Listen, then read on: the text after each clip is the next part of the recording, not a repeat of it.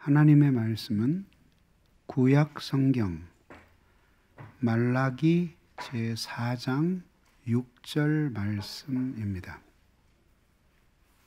그가 아버지의 마음을 자녀에게로 돌이키게 하고 자녀들의 마음을 그들의 아버지에게로 돌이키게 하리라. 돌이키지 아니하면 두렵건대 내가 와서 저주로 그 땅을 칠까 하노라 하시니라. 아멘. 말라기는 성경을 기록한 구약의 마지막 선지자입니다. 그리고 방금 우리가 읽은 이 성경 구절은 구약 성경 전체의 마지막 구절입니다. 놀랍지 않습니까? 태초에 하나님이 천지를 창조하시니라고 시작한 이 말씀이 마지막에는 아버지의 마음을 자식에게로 자식의 마음을 아버지께로 돌이키게 될 것이며 그렇지 않으면 하나님이 그 땅을 크게 징벌하실 거라는 경고로 끝이 납니다. 그리고 그 이어서 신약 성경이 시작됩니다. 신약 성경이 시작되면서 이제 예수님의 앞길을 예비하는 세례 요한이 등장합니다.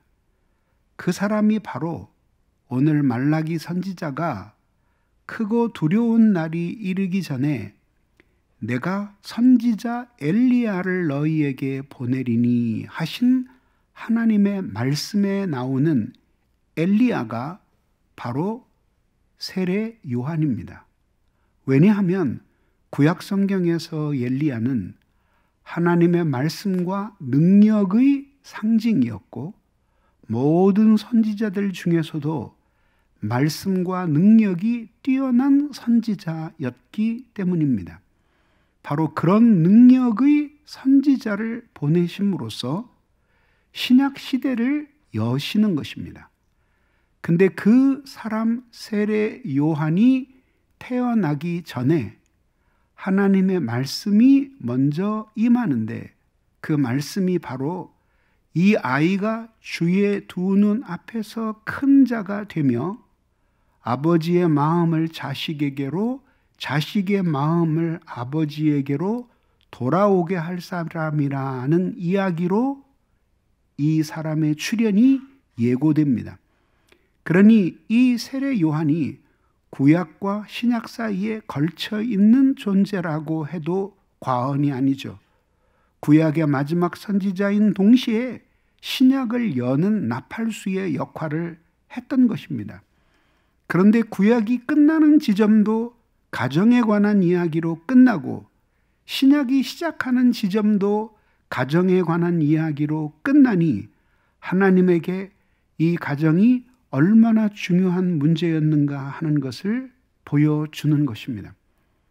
하나님의 백성의 가장 뚜렷한 표는 하나님을 경외하는 가정을 만드는 것입니다. 그 가정에 속한 가족의 일원이 되는 것이고 또 경건한 자녀를 낳아 경건하게 기름으로 그도 하나님을 경외하게 하는 것 이것이 크리스찬 가정의 가장 중요한 의무인 것입니다. 그러므로 가정이 이렇게 되지 못할 때 그는 신앙이 온전하게 설 수가 없습니다. 그리고 그는 하나님 앞에 매우 큰 잘못을 하고 있는 것입니다. 그럼에도 불구하고 오늘 우리들은 정신을 차리지 못하고 다음 세대의 교육에 대해서 신앙에 대해서 거의 신경 쓸 틈이 없이 살아가고 있습니다. 여러분들 중 극소수를 제외하고는 이미 먹는 문제는 다 해결된 사람들입니다. 40년 전을 비교하면 여러분들은 너무나 풍요로운 물질 시대 속에 살고 있습니다. 그런데도 가정을 돌보지 아니하고 이제 이 세상 살이에 급급해서 자녀의 신앙을 내팽개치고 있습니다. 그리고 그런 여러분들의 행태가 교회 안에서 어떤 식으로 나타나는지를 저는 지난 주일에 심하게 탄핵했습니다. 어떤 분들에게는 불편한 설교였을 수도 있었지만 어떤 분들에게는 회개의 기회가 되었을 것입니다. 그러나 나는 여러분들에게 말씀드립니다. 아이들의 신앙의 교육은 교회에 위탁된 것이 아닙니다. 1차적으로 여러분들의 가정에 위탁된 것입니다. 생각을 해 보십시오. 신약시대의 교회가 어디에 있었습니까? 갈라디아 교회, 그러니까 여러분들은 갈라디아라는 도시 한 군데에 빨간 벽돌로 지은 어마어마하게 큰 교회가 하나 있었을 거라고 생각하죠? 그런 교회 없었어요. 만약에 그런 교회가 있으면 로마가 내버려 두었겠습니까? 갈라디아 교회라고 하는 것은 갈라디아에 있는 예수 믿는 가정들의 총합이에요. 눈에 보이는 교회가 아니에요. 그냥 가정 단위 하나하나가 그게 교회라고 보고 그렇게 눈으로는 건물을 가지고 있지 않지만 예수를 믿는 가정들의 연합을 갈라디아 교회라고 부른 거예요. 에베소 교회도 마찬가지예요. 예? 모든 교회가 다 그렇게 불린 거예요. 그러면 누가 누가 그 가정에서 자기의 자녀의 신앙 교육을 담당했겠어요?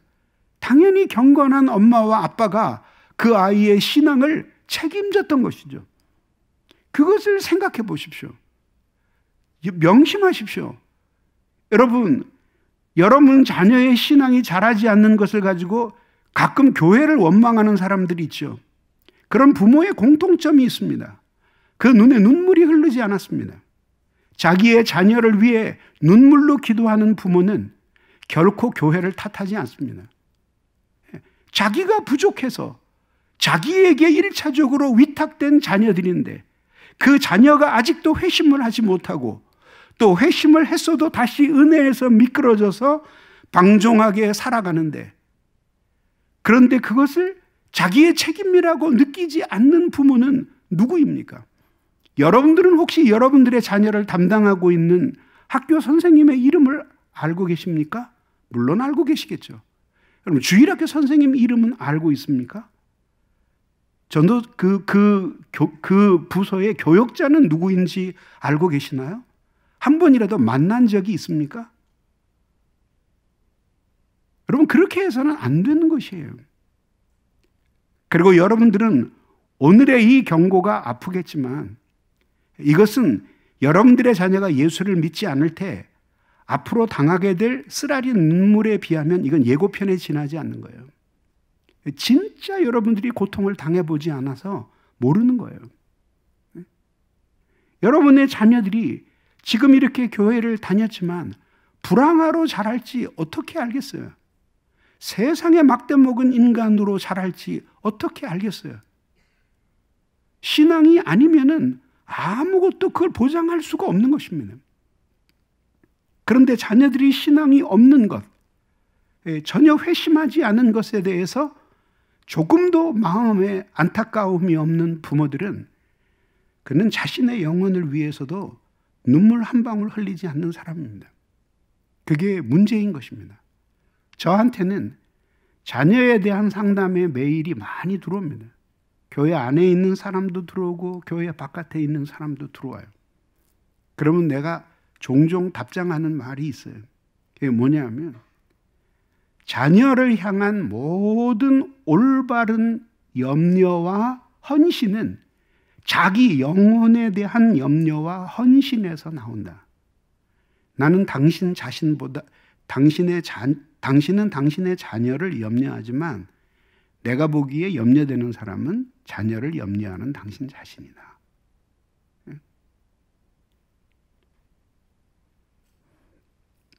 그래서 나는 오늘 여러분들에게 가정이 회심의 화로라는 것을 말씀드리고 싶습니다. 자, 제일 먼저 사람이 하나님을 떠날 때 어떤 일이 일어나는지 보시기 바랍니다. 당연히 사람이 하나님을 떠나면 하나님 사랑에서 멀어지게 되죠. 그리고 하나님이 낯설어지게 됩니다. 하나님의 하나님 사랑으로부터 마음이 떠날 때 그때에 아비는 어, 아비에게서 자식 사랑이 사라지게 됩니다. 여기서 아비라고 얘기했지만 어, 어, 어, 어떻게 아버지만을 의미하겠어요? 부모 모두를 가리키는 것이죠. 그 당시에 아버지가 가정을 대표했으니까 아비의 마음이라고 이야기를 하는 것이죠. 그러니까 결국 부모가 하나님을 떠날 때 부모는 참된 자식 사랑에서 멀어지게 되는 것입니다. 육적인 사랑은 남아 있을 수 있어요. 내 새끼 더, 먹, 더 먹여야지, 더 좋은 옷 입혀야지, 더 좋은 교육을 받게 해야지, 더 건강하게 키워야지, 더 좋은 학교 보내야지, 이런 욕망은 남아 있을 수 있어요. 그러나 내가 말씀드리는 것은 뭐냐면 하나님이 인간을 창조하셨잖아요. 그리고 아버지, 어머니인 나도 하나님이 창조하셨잖아요. 그리고 우리의 자녀도 하나님이 주셨잖아요. 그런 점에서 하나님 사랑 안에서 그 자녀를 사랑하는 그 사랑을 이야기하는 것이에요. 부모가 하나님의 사랑에서 멀어지고 나면 하나님의 사랑으로 자녀를 사랑할 수 없어요. 그래서 모든 것을 육체적인 안목을 가지고 자식을 보는 거예요. 공부 잘하고 그리고 어, 좋은 대학 가면 잘 길렀다라고 생각을 해요. 그런데 여러분들이 세상 살아보니까 인생이 그럽니까? 만약에 그랬다면 여러분들 중에는 잘 살고 좋은 학교 나온 사람들은 절대 예수 믿지 않았을 거예요. 인생의 무게는 그런 데서 오는 게 아니에요. 그걸 온몸으로 체험했기 때문에 여러분들이 예수 믿는 사람이 되신 것 아니에요? 그러면 당연히 그런 인생의 무거운 무게가 내 자식에게도 있다라고 그렇게 생각을 하고 그 인생의 근본적인 무게를 내려놓게 하기 위해서 예수를 믿는 것이고 그리고 그 문제가 해결됨으로써 나머지 인생의 많은 성공들이 의미를 가진다고 여러분들은 배웠잖아요. 그러면 자녀에게도 그걸 똑같이 해야 되잖아요. 어떻게 교역자가 전화를 해가지고 이제 코로나도 끝났으니까 아이의 신앙을 위해서 교회, 교회 보내십시오 하는데 대학 가면 보내겠습니다. 어떻게 그런 말이 나오느냐 이거예요. 그때까지 살아있을 줄 어떻게 알아요? 예? 어떻게 그거를 그 신앙을 가진 사람이 어떻게 상식적으로 생각해도 교회에 그런 식으로 반응을 할, 수, 할 수가 있겠어요? 여러분 학교에서 선생님이 전화 올 때 그딴 식으로 반응을 합니까? 그게 누구예요? 그게 교육자 자식이에요? 교회의 자식이냐고요? 여러분 자식이잖아요. 근데 여러분도 눈물 흘리며 기도해 주지 않는 그 자식을 위해 교육자가 눈물로 기도하고 선생님들이 울어주면서 그 아이의 신앙을 위해서 교회 보내라고 하는데 에? 예? 지금은 고3 때니까 바쁘니까 대학 가서 보자고. 나는 신앙을 가진 부모들은 그럴 수 없다고 생각해요. 그런 하나님을 뭐로 자기는 믿고 있어요. 그리고 그렇게 옆에서 선생님하고 통화하는 전화를 듣는 그 아이의 마음 속에 무슨 신앙이 들어가겠어요? 아, 이런 거구나. 어? 결국 우리 엄마, 아빠 마음에 있는 신앙이라는 것이 결국 이 따위구나. 예? 여러분이 얼 얼마나 중차대한 하나님 앞에서의 사명을 여러분들이 해태하고 있는지 아세요? 게으르고 나태하게 포기하고 있는지 아시느냐고요. 그래서 자식이 그렇게 한다고 좋은 대학 들어간다는 보장 절대 없습니다. 내가 아는 경건한 고등학생들은 그렇게 주일날 교회에 와서 열심히 신앙생활하고 열렬하게 하면서 서울대, 의대, 법대 다 들어갔어요. 예? 물론 못 들어간 애들도 있어요. 그런다고 되는 게 아니에요. 예?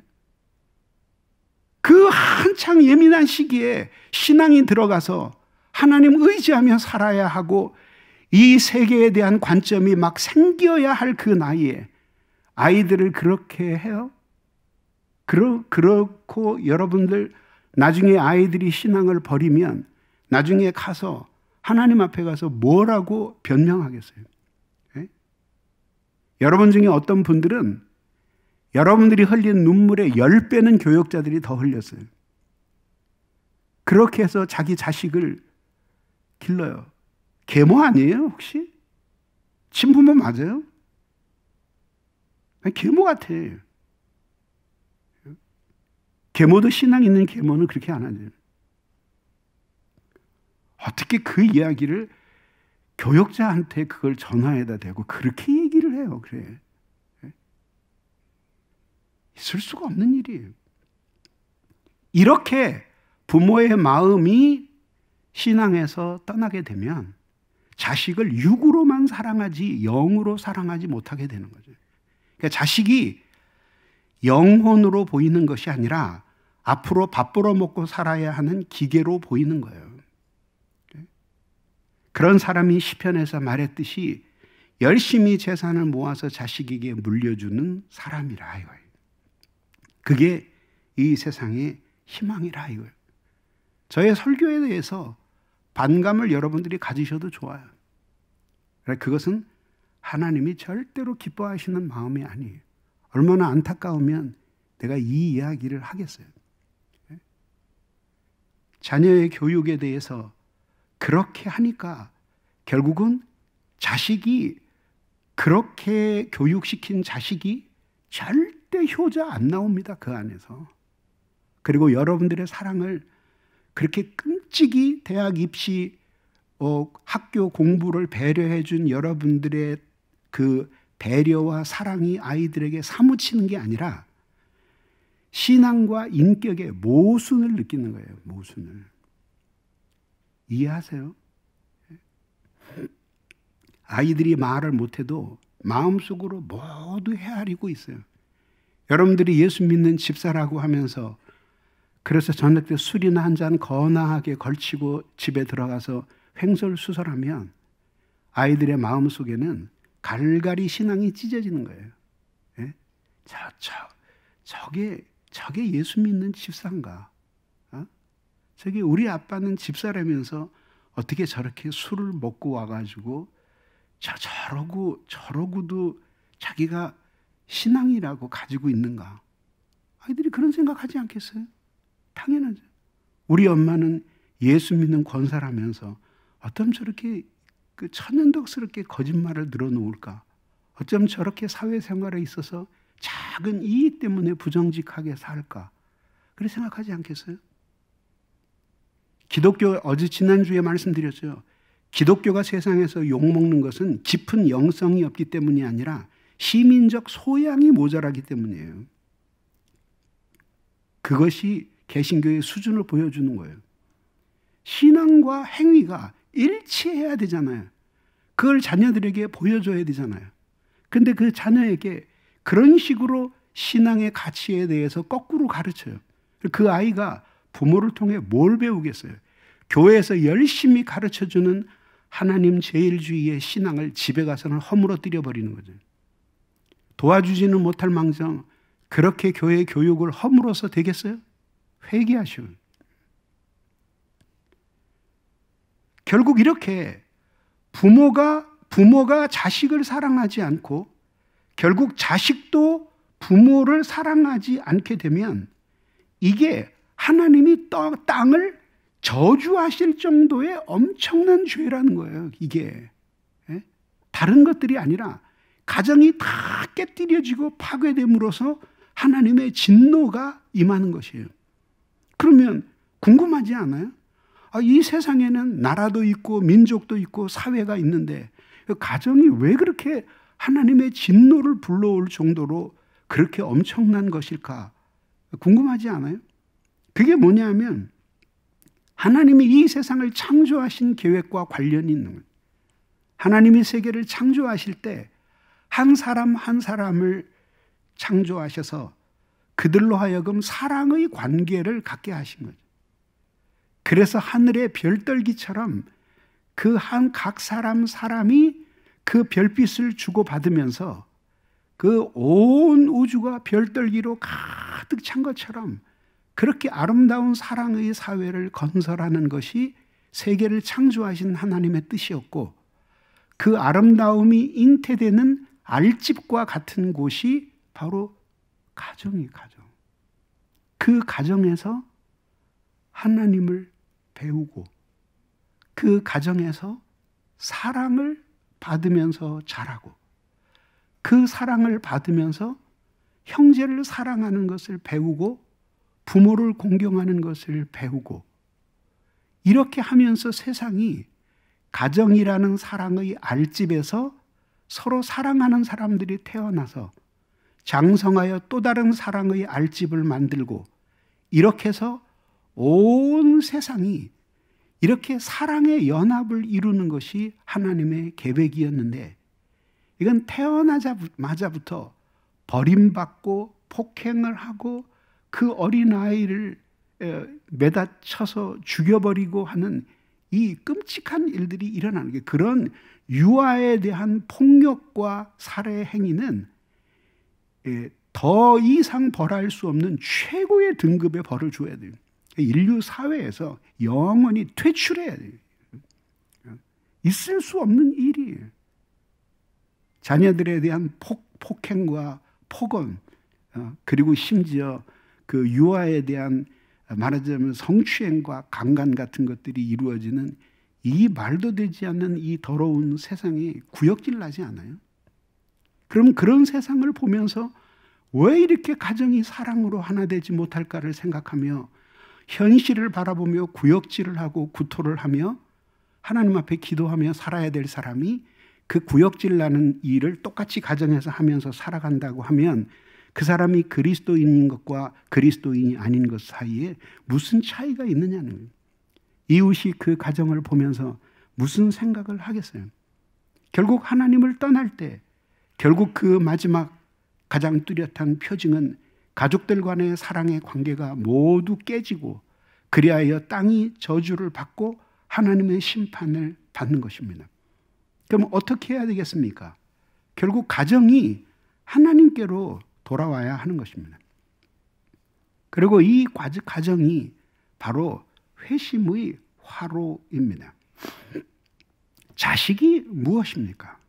자식이라고 하는 것은 자기의 몸으로 태어난 자녀예요. 그게 자식이에요. 신기하게 하나님은 모든 인간에게 자식을 사랑하는 본성을 주셨어요. 이것은 동물의 동물의 동물의 그것을 사랑이라고 부를 수는 없고 본능이라고 부르지만 그러나 그런 본능과 사랑을 인간에게 주셨을 뿐만 아니라 동물에게도 주셨습니다. 그래서 결국은 동물들이 새끼를 낳, 낳으면은 그렇게 예뻐하는 거죠. 전 어렸을 때 할머니와 함께 살면서 강아지를 길렀어요. 그러면 강아지가 이제 산통을 하고 아이를 낳을 때가 되면은 새끼를 낳을 때가 되면 할머니가 그 마루 밑에 있는 강아지를 수시로 들여다보세요. 그리고는 야야야야 이제 이 강아지가 새끼를 낳는다 저거 봐라. 내가 가서 쟤네들 다 돌봐주고 올게. 그리고 마루 밑으로 내려가셔서 하나씩 하나씩 받아줘요. 저는 그 직접 보지는 못했습니다만은 하나 태어나면 껍질을 쓰고 태어나요. 그 껍질을 하나씩 벗기면서 할머니가 하나씩 하나씩 받아놓으면 눈도 뜨지 못한 강아지가 그냥 이렇게 그 오락가락해요. 그러면 그 어미 개가 그렇게 그 그윽한 눈빛으로 그 한 번에 한 여덟 마리씩 낳는 강아지를 아주 정성껏 하루 종일 혓바닥으로 핥아서 목욕을 시켜요. 깨끗이. 근데 그 눈빛을 어린 마, 마, 어린 나이에도 잊을 수가 없어요. 그렇게 그윽할 수가 없어요.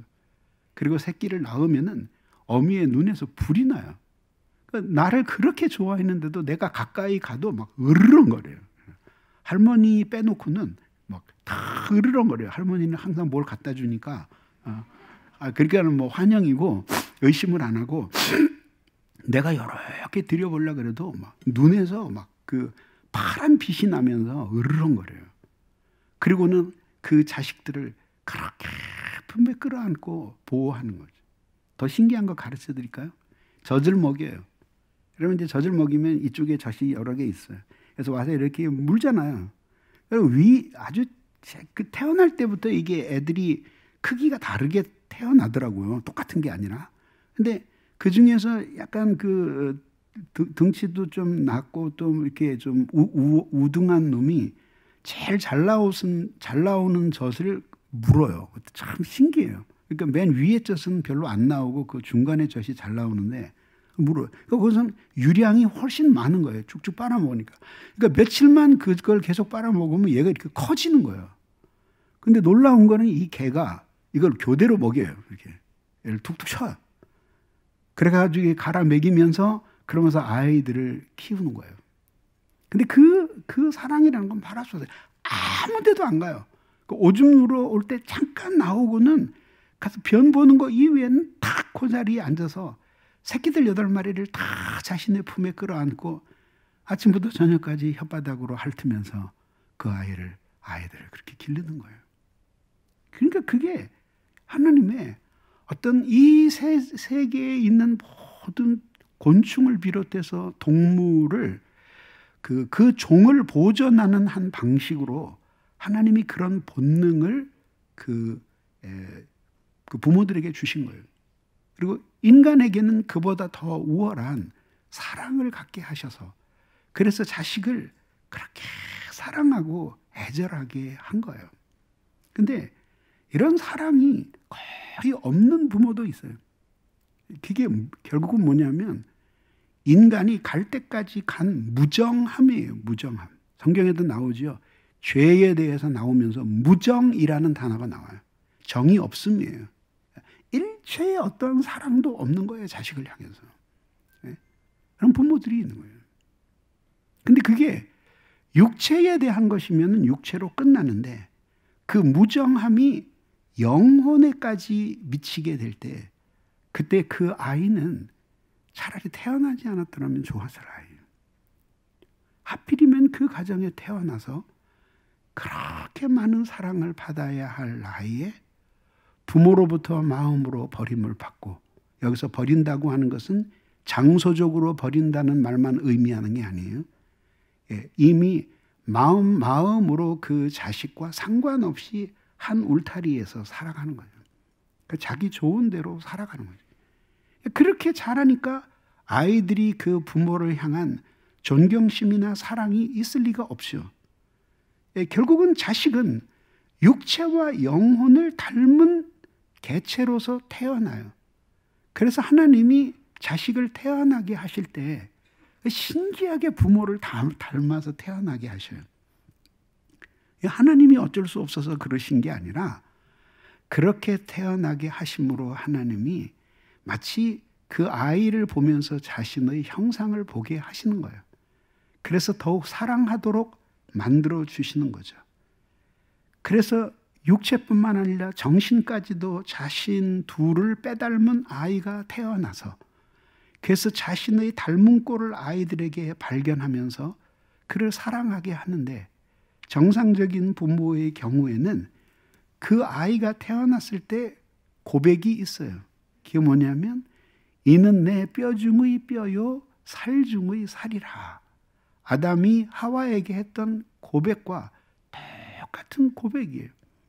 내가 내 살을 주고라도 너를 살 수 있으며 내 뼈를 주고라도 너를 구할 수 있다라고 하는 마음이 하나님이 부모에게 주신 사랑의 본성이에요.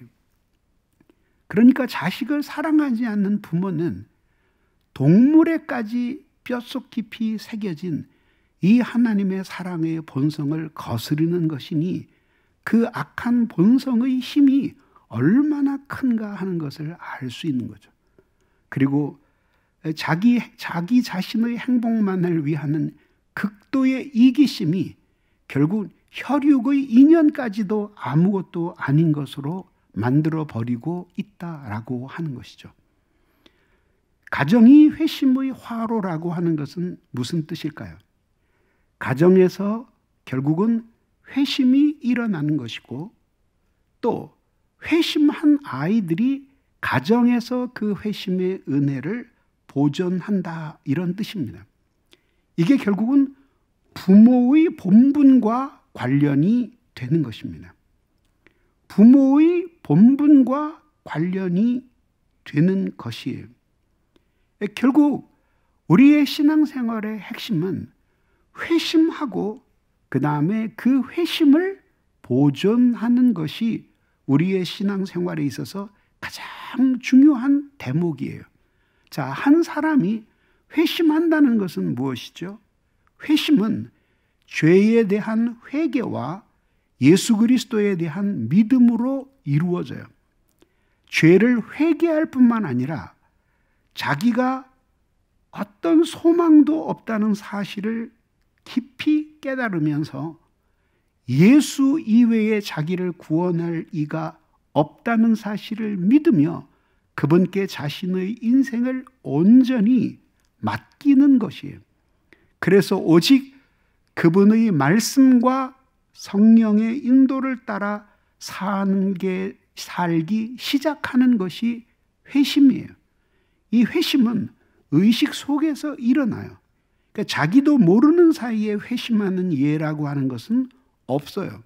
중생과는 달리 이 회심은 아주 또렷하게 어느 순간에 예수 그리스도 앞에 자신이 죄인이라는 사실을 깨닫고 그분이 십자가에 죽으신 것이 죄 때문이라는 사실을 깨닫고 그리고 예수 그리스도 이외에 의지할 분이 없다는 사실을 깊이 인식하며 그 주님께 자신의 모든 것을 맡기고 그분이 주시는 은혜의 힘으로 살아가는 비결을 깨닫게 되는 거죠.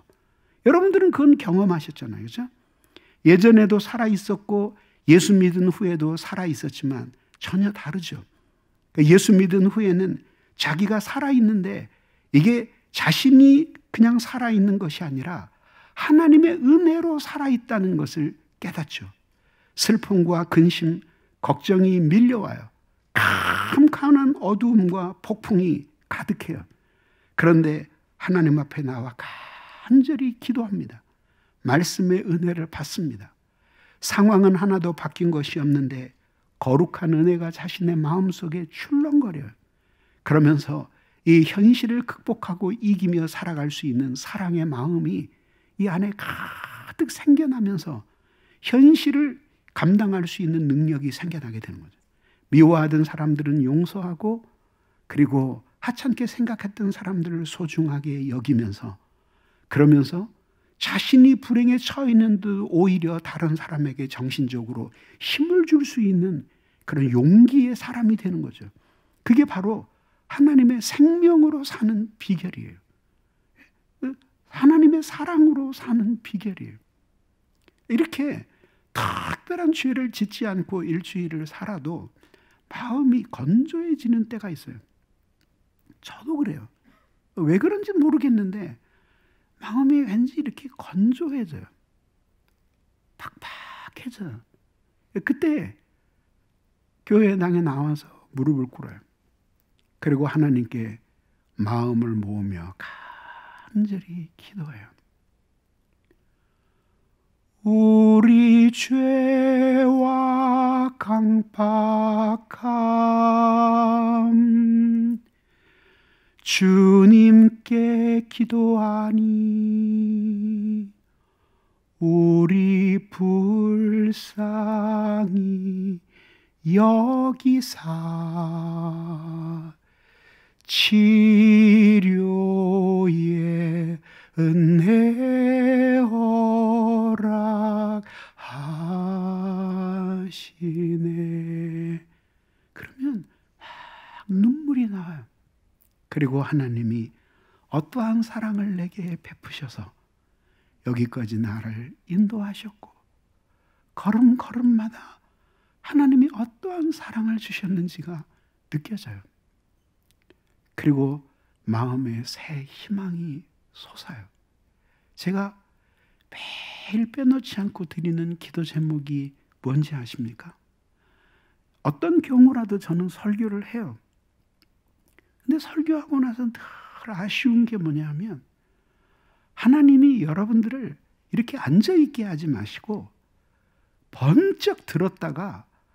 한번 교회 바깥으로 패대기 치셨으면 좋겠어요. 근데 그게 잘 안 돼요. 그래서 지난 한 주간 또 지지난 주간에도 간절히 기도했어요. 하나님이 한번 이 회중을 모두 들어 올리시고 패대기 치시옵소서. 그래서 자기가 있던 자리에서 돌이켜서서 하나님이 원하시는 자리로 다시 일어서서 갈 수 있도록 도와주시옵소서. 그게 안 될 때 설교하고 아주 심한 무력감을 느껴요. 근데 그게 결국 뭐예요? 하나님의 생명의 역사예요. 그 생명의 역사를 힘입어서 우리가 생각해 보면 참 험악한 세월을 살았는데도 그 세월을 어떻게 이겼는지 모르게 하나님의 놀래로, 놀라운 은혜로 이기면서 살아왔던 거예요. 그게 결국 우리가 회심했기 때문이고 회심한 우리가 결국 회심의 은혜를 어떻게 보존하며 사는가에 따라서 이 대답은 달라질 수 있는 것이죠. 그래서 여러분들이 스프럴전 목사님이 말씀하셨던 것과 마찬가지로 여러분들이 기도할 수 없습니까? 그렇다면 더욱 기도해야 합니다. 왜냐하면 지금 기도할 수 없기 때문입니다. 기도할 수 있습니까? 그러면 여러분들은 더욱 기도해야 합니다. 왜냐하면 지금 기도할 수 있기 때문입니다. 그러니까 우리의 일생을 살면서 넘쳐 흐르는 그 은혜로 기도하던 때가 얼마나 되겠어요. 그리고 그렇게 기도할 수 있는 때면 지금이 절호의 기회이니 더욱 많이 기도해야 되고 자녀를 이 가정이라는 회심의 난로에서 그 회심의 은혜를 보존하기 위해서라도 열렬히 기도해야 되는 거예요. 종종 은혜에서 멀어진 부모들이 이런 이야기를 해요. 아이, 그거 있지. 애들이 은혜 받아봐야 그거 별거 아니야. 그 애들 회심했다고 뭐 좋아서 날뛰는데 그한 달 되니까 다 그 원래대로 다 돌아가더라고. 자기는 2주 만에 되돌아갔어요. 예? 겨울 사경에 새해 말씀 사경에 1월 중순에 하고 2월이면 벌써 기도, 기도해도 안 나오고 전도도 안 나오고 봉사도 게을리하고 개인 경건 생활도 내팽개 쳤는데 아니, 자기 자식이 한 달 갔으면 오래 간 거 아니에요? 그렇게 하나님의 은혜를 얕잡아 봐요. 그런 사람에게 자식이 은혜를 받게 해달라고 회심하게 해달라고 하는 간절하고 애절한 눈물의 기도가 있겠어요? 없죠. 그게 사꾼 부모예요. 사꾼 목자만 있는 게 아니라 사꾼 부모 많아요. 아니, 그냥 정확하게 말하면 선한 부모가 희귀해요. 예? 선한 부모가. 그러니 결국 그렇게 해서 아이들을 길러 놓으니 그 아이들이 자라서 우리의 신앙을 이어가겠어요? 여러분 한번 생각해 보세요. 그리고 근거 없는 끝없는 낙관. 예, 우리 애는 인간성이 좋으니까 사회성이 뛰어나니까 공부를 잘하니까 인물이 훤칠해서 우리는 모아놓은 돈도 있으니까 유산도 물려줄 테니까 그게 바로 여러분들이 예수 믿기 전에 가졌던 인생관이에요. 그걸로는 도저히 살 수가 없어서 손 들고 옵니다 하고 그리스도 예수의 피 묻은 십자가 앞에서 엎드려 회심하고 그리스도인이 된 거예요. 근데 이제는 그 가치관을 자식에게 대입시키고 그것으로 위로를 삼아요? 그렇게, 그렇게 해서는 안 되는 것입니다. 여러분, 그렇게 해서는 안 되는 것입니다.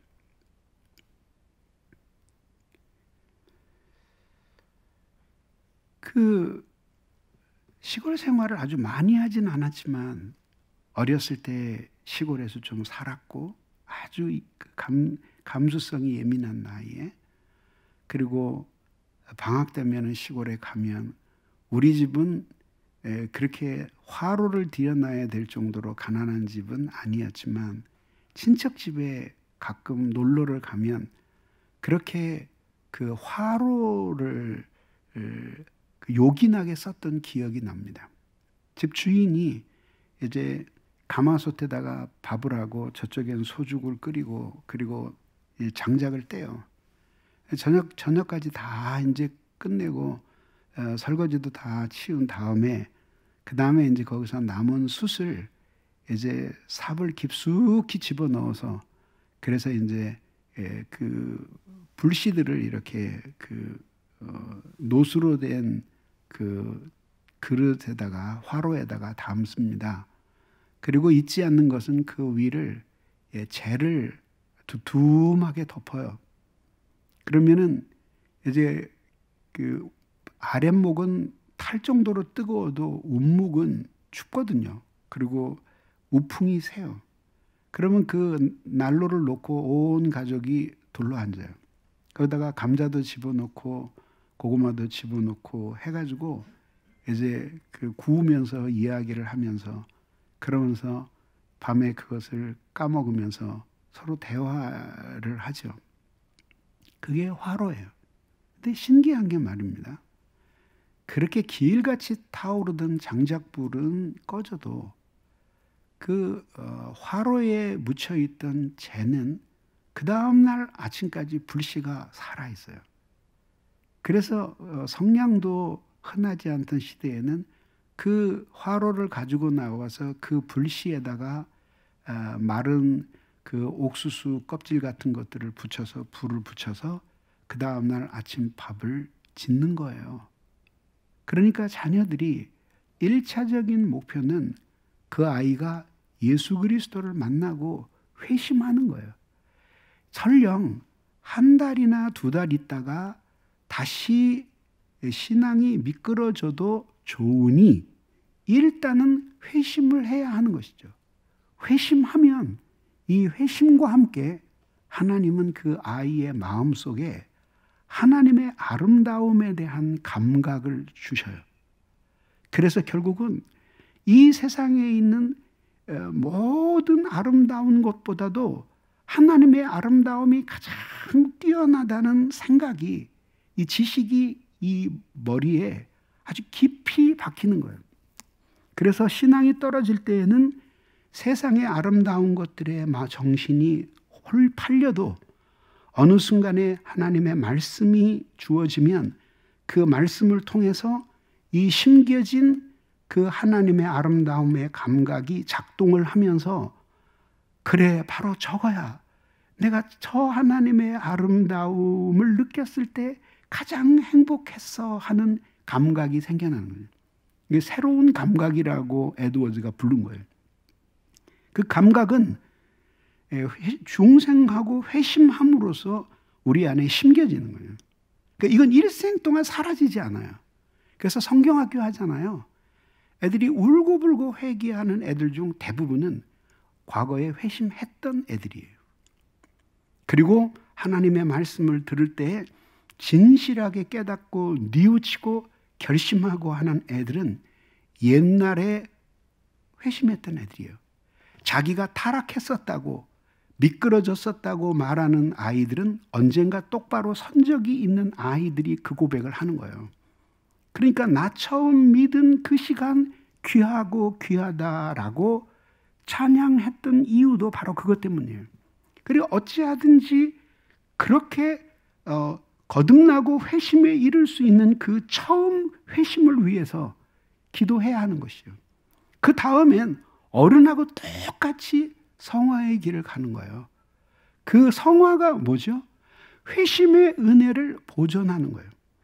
회심과 함께 하나님의 아름다움에 대한 감각뿐만이 아니라 또 다른 감각도 생겨나요. 그게 하나님의 영광에 대한 감각이에요. 아, 하나님은 그렇게 영광스러운 분이시구나. 그리고 나는 그 하나님 앞에 정말 지푸라기 같은 인간이구나. 라는 사실을 깨달으면서 겸비해지는 감각도 시, 심겨지게 되는 거죠. 그뿐만이 아니죠. 사주에 대한 감각도 심겨져요. 하나님 앞에 용서를 받는다는 게 뭔지 모르는 거죠. 그래서 여러분 사형리 가지고 전도하다 보면 첫 번째가 하나님은 당신을 사랑하십니다. 이렇게 해놓고 그 다음에 당신은 죄인입니다. 그러잖아요. 대부분의 사람들이 뭐라 그래요? 내가 왜 죄인입니까? 동의를 안 해요. 그러니까 진도가 못 나가는 거예요. 근데 가끔 어, 양심에 무엇인가 그 많은 가치액을 느끼거나 혹은 죄에 대한 특별한 생각을 가지고 있어서 내가 죄인입니다라는 말에 동의하는 사람들은 그래도 진도가 나가기 쉬운데 내가 왜 죄인입니까? 한번 증명해 보십시오. 이렇게 얘기할 경우에는 진도가 안 나가는.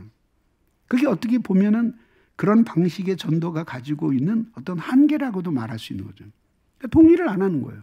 그 동의하는 것이 그게 성령의 은혜가 아니면 안 되는 거예요. 자기가 죄인이라는 사실을 깨닫는 게. 여러분들이 예수 믿기 전에 자기가 죄인이라는 사실을 깨달은 사람 있어요? 예수 그리스도의 십자가에 못 박힌 모습을 보고 비로소 그것이 자기 자신에게 적용이 되어서 내가 죄인이구나 하는 사실을 깨달은 것 아니에요. 그러니까 하나님 앞에 그런 죄인임을 깨달았을 때에 하나님이 그 죄를 사죄해 주셔요. 그때의 그 기쁨이라고 하는 것은 이루 말할 수 없죠. 엄밀하게 말하면 모든 그리스도인이 깨달은 하나님의 사랑에 대한 경험은 죄의 용서를 통해서 이루어진 경험이에요. 그러니까 성경에서 하나님을 사랑한 모든 사람의 공통점은 자신의 자신이 끔찍한 죄인이라는 사실을 자각했던 사람이었어요. 예수 빼놓고 모든 사람들이 자기가 죄인이라는 사실을 자각하니까 거기에서 사죄의 감각을 갖게 되는 거죠. 그러면 어, 내가 죄를 지었을 때 용서받는 것이 무엇이라고 하는 것을 일평생 여기에 간직하게 되는 거죠. 그래서 이런 회심의 은혜를 성화를 통해 보존하는 거예요. 그러니까 아이들을 말이죠. 회심을 목표로 놓고만 간절히 기도하지 말고 회심하면 그 회심한 아이가 경건 생활을 잘 할 수 있도록 부모가 도와야 하는 거예요. 아휴, 그것까지요. 그게 부모예요, 그게. 그리고 그게 목회자들이 교회에서 늘 하는 일이 그거잖아요.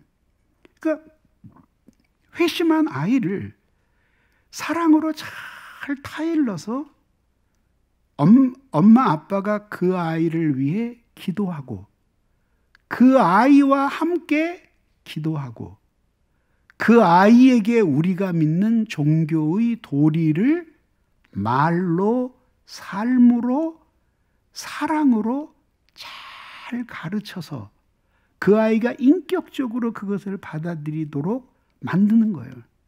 그러니까 그 일이 얼마나 어려운 일이겠어요. 어려운 일이에요. 그래서 결국은 한 자식을 참된 그리스도인으로 만드는 과정은 부모 자신이 참된 그리스도인이 되어가는 과정과 일치하는 것이에요. 아이들을 상담해 보면 아이들이 신앙에서 느끼는 근본적인 회의, 기독교 신앙에 대한 깊은 회의를 어디서 느끼는지 아세요? 학교에서 진화론이나 과학을 배우면서 느끼기도 해요. 근데 그거는 오해예요. 예, 진화론 따위는 하나님을 믿는 신앙을 취소할 수 없어요. 내 열띤 캠프에서 학생들에게 길게 설명을 했어요. 예. 그리고 상세하게 설명을 했어요. 상당히 많은 학생들이 설득이 됐어요. 그런데 말입니다. 그 다음 그것 못지않게 아이들이 신앙을 취소하고 싶은 마음을 갖게 만드는 게 부모의 행실이에요. 둘이 부모가 서로 사랑하지 않아요. 그리스도의 정신으로 서로를 지체로 받아주지 않아요. 끊임없이 갈등하고 미워하고 원망하고 싸우고 다퉈요. 그리고 그것이 정난하게 아이들의 모습에 비쳐요. 이 가정이 사랑으로 뭉쳐진 가정이라는 생각이 1도 안 들어요. 아빠는 아빠대로 딴 주머니 차고 그리고 나쁜 짓 하고 엄마는 엄마대로 아빠에 대한 일체의 신뢰가 없고 자기 즐거움을 따라서 살고 자식들 사랑하지 않아요. 그리고 형제들 그런 가정에서 형제들이 끔찍히 서로 사이가 좋은 형제들이 태어나는 것은 힘들죠. 한 달이 지나도 누나가 동생 얼굴 보는 적이 없고 동생이 어, 오빠 얼굴 보는 적이 없이 그렇게 콩가루 집안으로 살아가요. 그 속에서 신앙에 싹이 싹이 난다고요. 꽃이 핀다고요. 그런 부모들에게 아이들의 회심을 걱정하면서 어, 아이가 회심하지 않아서 어떡합니까? 아이가 회심의 은혜를 보전하지 않아서 큰일입니다. 부모님 어떻게 하면 좋지요? 그러면 하나님이 다 해주실 겁니다. 뭘 하나님이 해주셔요? 하나님은 스스로 돕는 자를 도우셔요. 자기는 자식을 위해 눈물 한 방울 흘리지 않고 그렇게 나와서 그 한 아, 자기 아이를 1년 동안 어떻게 지도할지 그 서로 기도 제목을 나누고 그 부모의 도움 없이 아이의 신앙 교육이 성공할 수 없으니 학부모 설명회에 나와 가지고 교육을 좀 받으라 그래도 무지하게 짝이 없으면서도 아, 절대 안 나와요. 그리고 내버려둬요. 강아지를 유치원에 보내도 강아지를 그렇게 안 해요. 강아지 유치원 보내면요. 학부모 소집하면 칼같이 와요. 문자하면 칼같이 답장하고요. 돈도 강남에서는 170만 원이랍니다. 강아지 유치원이 최하가. 어? 견주도 못 돼요. 그렇게 키워서는. 예? 그러다 어떻게 되는지 아세요? 유기견으로 버리는 거예요. 알록달록하게 귀에다가 발에다가 색깔 칠해놓고 그렇게 그 리본까지 달아서 갖다가 깽깽거리고 우니까 그냥 던져버리고 도망가 버리는 거예요. 비정한 인간들이죠. 그리고는 짐승처럼 걔네들이 개, 그 늑대처럼 온 산을 도, 돌아다니면서 그렇게 하면서 짐승들을 잡아먹고 심지어 행인들을 공격을 하잖아요. 여러분들의 자녀들이 그렇게 되어 가고 있는 것이 영적으로 여러분들의 눈에 들어오느냐 얘기예요.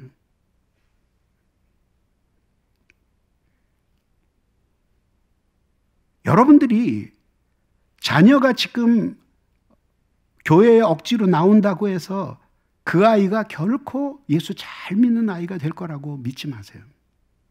한 청년이 열린교회에 등록을 했어요. 오래전 얘기예요. 너 어떻게 우리 교회 왔냐 했더니 말씀이 너무 갈급해서 왔습니다. 그래서 너 어디서 왔냐? 절에서 왔습니다. 그래서 그건 또 무슨 소리냐? 어린 나이에 인생에 너무 회의가 느껴져서 그래서 이리저리 방황을 하다가 불교가 진리가 있겠다 싶어서 절에 갔다는 거예요. 절에 가서 열심히 들어가서 쓰레지를 하고 스님들 수발을 들면서 봉사를 하니까 아, 그 아주 그 귀여 예쁨을 많이 받았어요. 그리고 오던 불교 신자들이 참 저분은 저렇게 신실하다고 그러면서 앞으로 훌륭한 스님이 되시겠다고 해서 스님이 되시면 옷은 제가 맞춰드리겠습니다. 뭐 이런 헌신자들도 나온 거예요. 그래서 이제 조만간 기회를 받고 승려에 입적할 즈음이 됐는데 주지 주지 스님이 이제 기독교로 말하자면 담임 목사거든요. 제일 높은 분이에요. 주지 스님이 야 이리 오너라. 네. 읍내에 좀 나갔다 와라. 네. 예, 그래서 메모지에다가 글을 써주면서 이러이러한 책이 있을 테니까 사가지고 오너라. 얘가 이제 읍내에 나갔어요. 그래서 스님이 주지 스님이 사오라는 책을 몇 권 샀는데 뭐가 하나가 눈에 이렇게 탁 들어오는데 그게 오디오북이었어요. 그게 생명의 말씀사에서 만든 저의 설교집이었어요. 불붙는 하나님의 사랑을 알자라는 호세아 설교였어요. 진짜 하나님의 은혜를 많이 주신 시리즈예요. 네 번 시리즈를 했는데 자기도 모르는 사이에 그걸 하나 사가지고 같이 가져온 거예요. 그리고 낮에 일을 다 하고 밤에는 이제 법당에 가서 승려들이 참선을 하잖아요. 근데 그때 걔는 여기다 이어폰을 꽂고 여 밑에다가 녹음 테이프를 꽂고 불붙는 하나님의 사랑을 들었던 거예요. 근데 거기서 주님을 깊이 만난 거예요. 그러다가 어, 떤 스님이 참선을 하는데 제가 뭐 참선을 할 때는 그냥 온전히 집중해야 되는데 이 귀에다가 뭘 꽂고 참선을 하는 거예요. 너 이게 뭐야? 그리고 확 잡아당기니까 목사의 설교가 나온 거예요. 이거 당장 끌고 주지 스님한테 간 거예요. 내 절에서 오래 살았지만 이런 미친 놈은 처음 봤습니다. 아니 이놈이 글쎄 법당에서 참선을 한답시고 앉아서 개신교 목사의 설교를 듣고 있지 뭡니까? 그러니까 주지스님이 사연을 말해봐라 뭐냐? 아, 이 청년이 얘기했어요. 스님 사실은 제가 불교가 길인 줄 알고 와서 이렇게 오랜 기간이 있었는데 아무래도 이건 제 마음의 길이 아닌 것 같습니다. 진리는 기독교에 있는 것 같습니다. 그랬더니 주지 스님이 말씀이 있었어요. 그래, 그럴 수도 있다. 진리는 하나가 아니니 네가 그렇게 생각하면 거기 진리가 있는 거다. 가거라. 사실은 나도 주일학교 선생이었다. 이게 여러분 웃으라고 하는 이야기가 아니라 그 주지수님이 여러분의 아들이 될 수도 있는 거예요. 이해되세요? 네? 저는 주일학교 선생님이었다는 승려를 여러 번 만났어요. 네? 어, 그 중에 이름만 되면 다 아는 유명한 승려는 전도사까지 하다가 어, 불교에서 아주 유명한 사찰을 일구었어요. 뭐가 필요하다는 거예요? 회심과 함께 회심의 은혜를 계속 보존하며 사는 신앙생활이 필요하다는 거예요. 회심한 사람은 그렇게 될 수 없지만 그러나 진정으로 회심한 사람이라 할지라도 회심의 은혜를 보존할 수 있어야 돼요. 여러분들이 아이들이 기도 생활 안 하는 것을 공부 안 하는 것만큼 괴로워하세요? 아이들이 말씀에 은혜 받지 못하는 것을 여러분들이 학교 잘 다니지 않는 것만큼 괴로워하세요? 정신을 차리셔야 됩니다. 그리고 하나님의 사랑 안에서 회심의 은혜를 보존하며 살아야 합니다. 여러분들은 그리스도를 잘 보여주는 부모가 되어야 됩니다. 하나님을 경외하며 사는 사람이 어떤 아내가 되고 엄마가 되는지 아이들이 어렸을 때는 그 마음을 몰라요. 근데 결국은 세월이 막 그리고 아이들은 좀처럼 인정하지 않아요. 엄마 훌륭하셔요. 제 인생의 스승이셔요. 정말 감동적이었어요. 저같이 방황하고 있는 이 어린 양을 이렇게 보호해 주셔서 너무나 감사해요. 그거 아이들이 마음에 있어도 말 안 해요. 자존심 상해서도 말 안 해요. 그거는 10년이나 20년 지난 다음에 들을 수 있는 이야기예요. 그러니까 그런 걸 기대하지 말고 하나님 앞에서 여러분들이 살아가야 할 삶이에요. 그걸 자녀들에게 부모의 화목한 사랑의 관계 안에서 어떻게 부족한 엄마가 경건한 아버지의 사랑을 받는지, 얼마나 부족한 것이 많은 아빠가 하나님의 사랑으로 엄마에게 용서를 받는지 그거를 보여주면서 서로 부족하고 모자라도 그리스도의 사랑이 지배하면 이렇게 행복한 부부가 될 수 있다라고 하는 것을 인격적인 관계 속에서 보여줘야 되는 거죠. 그리고 서로 존중하며 살고 사랑하고 그리고 이 가정을 진심으로 행복해 한다는 것. 그것이 아이들에게 살아있는 신앙의 교육이 되는 것이에요. 그런 거 다 팽개치고 끝없이 여러분들이 예, 신앙생활 한답시고 교회에서만 시간을 보내고 자녀 거의 돌보지 않고 자녀들과의 인격, 인격적인 관계 거의 없이 그렇게 살아간다면 그 아이가 여러분의 가정을 통해서 무엇을 배울 수 있겠어요? 위선과 거짓, 다툼과 증오, 멸시와 천대 이런 것들밖에 배울 것이 무엇이 있겠어요? 결국 가정은 회심의 화로가 되어야 합니다.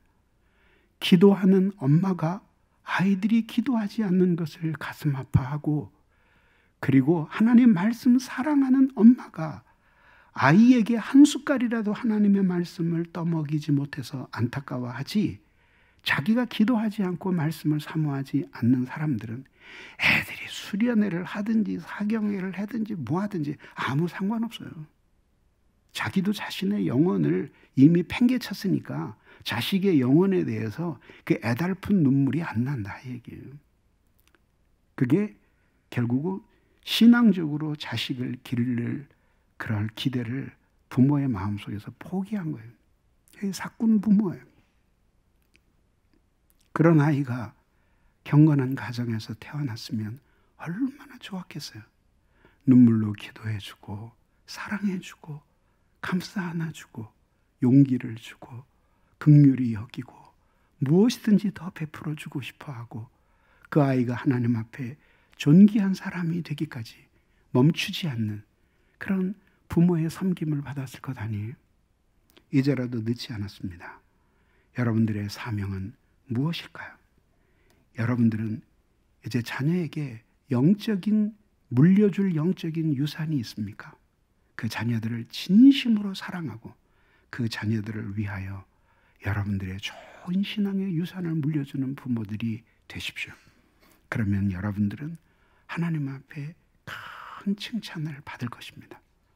그리고 오랜 세월이 흘러도 여러분들은 하늘 나라에서 그렇게 방탕하게 사는 자녀들이 아니라 그 교회의 기둥 같은 일꾼들이 되어서 그들의 자녀들을 하나님의 사랑으로 기르고 돌보며 방황하지 않고 하나님 의지하며 사는 건전한 믿음의 가문을 일구어 갈 것이니 하늘에서도 여러분들의 기쁨이 클 것입니다. 오늘이 기회입니다. 여러분들의 자녀를 위해 우십시오. 주님의 이름으로 축원합니다. 기도하겠습니다.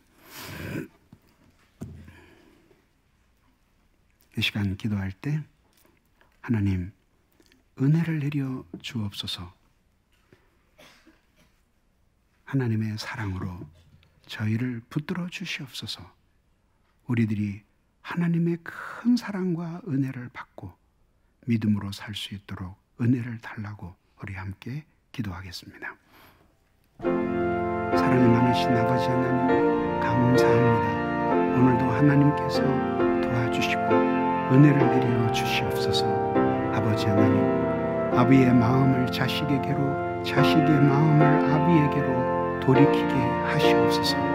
주님의 사랑 없이 불가능하오니 하나님 은혜를 내려 주시고 저희들의 심령을 하늘 높이 들어 올리시고 아버지 하나님의 사랑으로 충만하게 해 주옵소서. 주님의 마음으로 자식을 사랑하게 해 주옵소서. 아버지의 마음으로 자녀를 극률히 여기게 해 주시옵소서. 자신의 영혼을 위해 비는 것처럼 자녀들의 영혼을 위해 눈물로 기도할 수 있도록 은혜를 내려 주시옵소서. 그리하여 놀라운 기적을 보게 해 주시고 어떤 경우에도 사꾼 목자가 되지 않고 선한 목자가 되어야 하는 것처럼 사꾼 부모가 되지 않고 선한 부모가 되게 해 주시옵소서. 그래서 우리의 자녀들이 모두 다 주를 기리며 주 이름을 높이며 사는 주님의 자녀들이 되도록 은혜를 내려 주시옵소서. 예수 그리스도의 이름으로 간절히 기도드리옵나이다.